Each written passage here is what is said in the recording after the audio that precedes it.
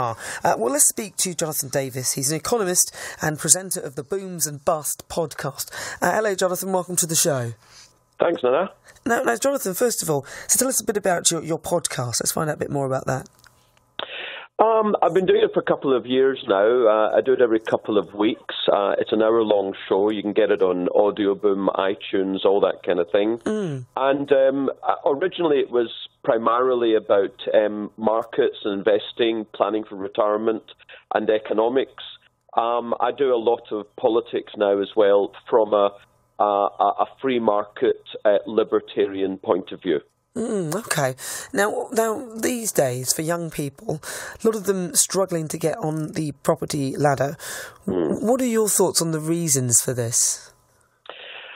Um, there's there's one point I need to make crystal clear. Mm. Um, for two generations, it certainly has been a property ladder, uh, and we've only known um, over the medium long term house prices to rise. Mm. I, I think we need to question whether that can and will actually continue in the long term. Um, bearing in mind, and you know, we won't have a big debate about it, but bearing in mind that we've had 40 plus years of falling interest rates, and they're practically rock bottom now, uh, if not rock bottom. Mm. Therefore, there is at least a distinct possibility that we could actually have a generation of rising interest rates. And in such a, uh, scenario, you're not going to see rising house prices. But be that as it may, um, why is it difficult to buy a house? Well, yeah. Um, kids leave uh, uni. Uh, half of kids are leaving uni now with uh, tens of thousands of debt. Mm. Uh, uh, whether you go to uni or not, um, you're, you're, starting work um, at the bottom of the ladder. You're on the minimum or the living wage. Um, it, it, it's difficult to save. It's difficult to get the money together. House prices are so blooming expensive, mm. as I've just effectively been saying. They've been rising for 50 years. So um, uh, the, the, the, deposit you need to get is uh, what, 10, 20,000 pounds. So that's in essence why it's difficult to get yourself into into property. it's interesting, but there are places where you can buy property a lot cheaper, uh, and you know, and and I mean, I remember saving for my first property. I had to save money myself and save money to get on that ladder. Uh, is it is it just that the house prices are just actually just way too high, and that's actually the crux of the, the matter? Well, when did you get your first place? Oh, in two thousand and three. So, yeah, 15, 16 years ago. Yes. Fact uh, is, Nana, house prices were materially lower. It's true. I, uh, bought, uh, I bought a two bedroom Victorian house in Greenwich for £96,000. You didn't, did you? I did, yeah. you did very well. I kept well, it. see, that's exactly my point. And, and, and as it happens, um, that, that, that was.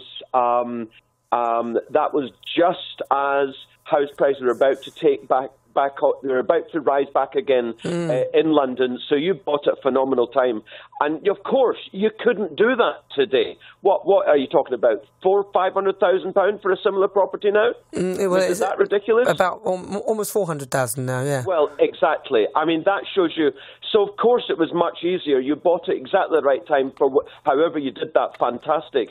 Today um, in London, do you know what the average house price in London is now six hundred thousand pounds? Wow! Um, a starter, a starter mm. is about three hundred thousand pounds.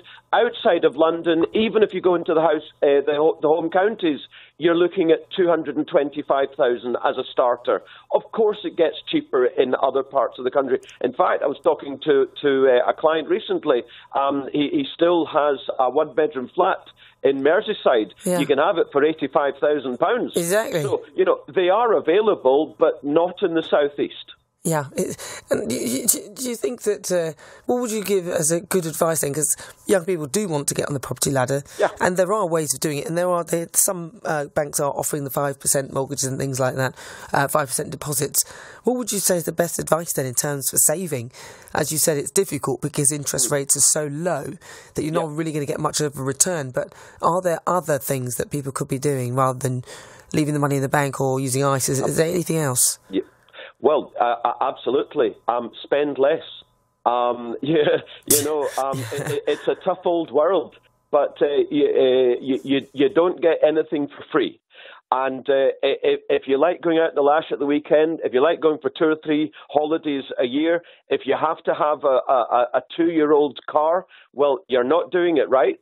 Um, you need to uh, um, pull your, your, your belt in, spend less, and it's amazing how quick you can actually save money. You can save a lump sum.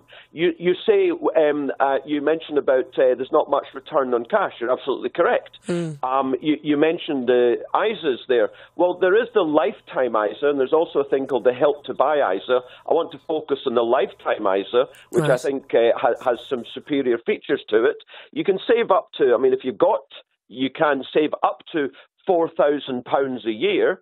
But the thing is, um, if you do so, then when you come to buy your first home, and it has to be a first time buyer, the government or the taxman will give you a 25% bonus. Wow. So it's, a, it's a no brainer. So, this um, is, which one's this? Is, is this if the... you're saving uh, for the next two or three or four years um, for a property, first one, get yourself a lifetime ISA a lifetime ISA, if you're saving for your first property, the government will give you what twenty percent on top? Did you say a twenty-five percent bonus um, wow. on, onto your savings when you come to buy that house or uh, that flat? They can't revoke that once you put it into the lifetime ISA. They can't then change the rules, can they? Turn it. Into, uh, of course, they can change the they rules. Can change but, the rules. uh, but, uh, what what they won't do, um, I'm sure, is once you've made the investment, um, it'll be your money. They mm. could take away the 25% bonus, mm. but you know, it, it's your money. Your they're, money they're will still take the. Yeah. Yeah, and and how long can you leave the money in this ISA for? Then how long has, have these well, been going that's around That's amazing. It's, that's what's great about it. If if ultimately you don't buy a place, mm. it's a lifetime ISA. When you come to retirement, whether you bought a place or not, they'll give you the 25% bonus. Oh, that's, that's so that. as long as you want, basically. That's really, really good, isn't it? And it's first-time buyers only. So that's that's a vehicle at first. I'd never heard of that actually. All right. So that's a vehicle. And then mm-hmm. you mentioned another ISA. Did, was there another thing you mentioned? Well, yeah, it, it, it's a help to buy ISA, and it goes along with the the help to buy loan. Um, you know, if if you've only got a five percent deposit.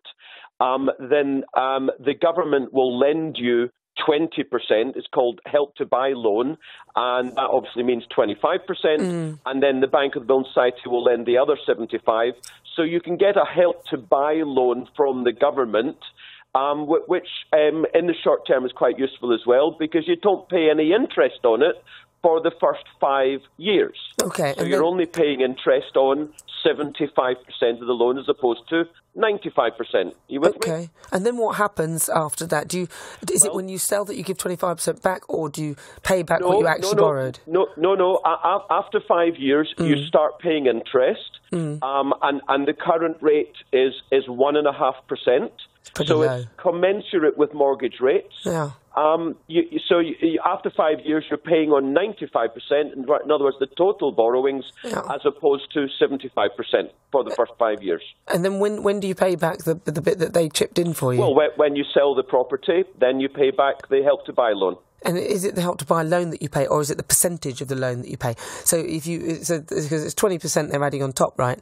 So when you sell it, are you giving back twenty percent, or are you giving back what that twenty percent was worth when you bought the house? No, you're just you're just giving back the loan plus interest. So it's the actual amount that you borrowed, mm-hmm. whatever twenty yep. percent is. Just, just like amount. a normal mortgage. Yeah. I say the difference is it's coming from the government rather than from a financial institution, mm. and as I say, it's interest free for five years. But as I say, you, you stay there for longer than five, then you start paying for it. And, and who can get this? Is it just young people, or is it just if you're buying no, a new it, property? It, it, it's again first time buyers. It's so, a help to buy for first time buyers. First time buyers. Um, and it's uh, up to £250,000 property purchase outside of London mm. and 450000 inside London. Very interesting. I see. So, mm-hmm. so you can do it either way, but four hundred fifty thousand is the maximum they'll go to inside mm-hmm. London. That's mm-hmm. very good. I heard some sort of shared ownership, some sort of um, other scheme that people yeah. who actually had a property could then buy another one. So if parents are helping kids, um, and they actually, you know, I, I, heard something that you could actually buy another, as long as it's a new build or a new property. Mm. What's that? Is that um, something? I, I, think what you're referring to, I'm, I'm, I'm, not quite clear. That there's a thing called shared ownership. Yeah, I think that's where um, property developers will, in effect, let you buy, say, half of the property. Um, so you, you, you, you effectively you pay rent on the other half. Um, and in theory, this helps you get into the property market. Mm. Personally, I don't like those because um, um, you share the asset growth if there's any growth yes. See, with the property yeah. developer. But if there's any property price falls, yeah. you get all of the price fall. Oh, that's and not that, fair. That's not it? a deal that works for me. Yeah, I hear you. Uh, and so the government scheme, the, the lifetime ISA seems amazing, which is a, almost a similar principle, except you only pay back the actual loan and you only pay 75% of the, the repayments until the first five years, then you pay 90 mm-hmm. That's great. That sounds mm-hmm. yeah, that's great. So there are things out there for young people mm-hmm. if, if they do have a listen. And so if people want to find out more about um, what you do, your Booms and Bust podcast, remind us again where they can go. Yeah, sure. Um, uh, go on to audioboom.com or go on to iTunes. Just search Booms and Busts, and there I am, Jonathan Davis. Well, listen, and, Jonathan. Uh, if, if you like deep, meaningful, serious stuff, um, then it might be for you. Um, if, however, you, you prefer talking about Kim Kardashian, then it's not going to be for you. well, listen, Jonathan, thank you so much for that, and uh, thanks for that information. I had no idea about this lifetime ISA. Brilliant. Take care, Jonathan. Thank you. Cheers. All the best. Thank you. That's Jonathan Davis. He's an economist and uh, presenter of the Booms and Bust podcast.